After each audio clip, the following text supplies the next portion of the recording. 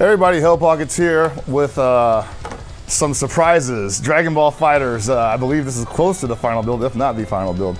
Uh, and we have Tenshinhan, Yamcha, and Gotenks here to show you. I'm going to try my best to show you the basic thesis behind playing these characters.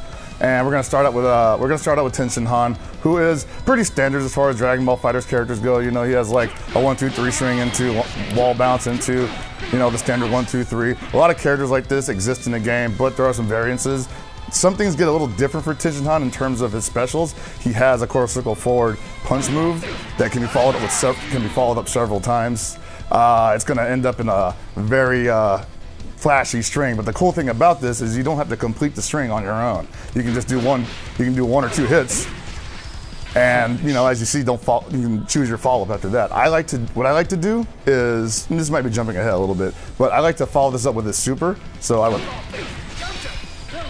I believe that's, there we go. Okay, had to get it right first time. Bear with me. See, you can follow it up with the super right there a little more damage, a little more flashier, makes your opponent a little more scared of you, but we're getting ahead of ourselves. Another move that he has is his Chaozu command grabs. Now these are actually going to be your, I guess, gimmicky moves or something. I'm not sure how you would call it. So that's actually a cool move from Chaozu where he holds your opponent in stasis. That's uh, a quarter circle back and A. And it allows you to follow up and catch your opponent while they're on. Well, they can block you, but it allows you to catch them while they're sleeping, you know? Because it can pretty much hit from anywhere on the screen.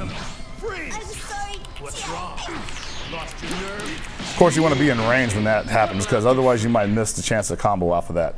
Uh, another thing to make a note that the move I showed you earlier, the volleyball special, the EX version of that is actually a grab, which makes him a little more dangerous than your average melee character. Obviously, it's pretty slow, so if you catch somebody in the block string, you'll be able to follow that up with a little bit of a 50-50 situation where if you go for it, they may not be ready for it.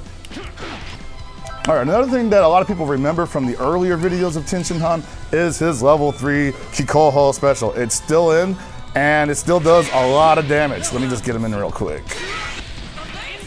There we go. And now remember, holding down the buttons will get more blasts.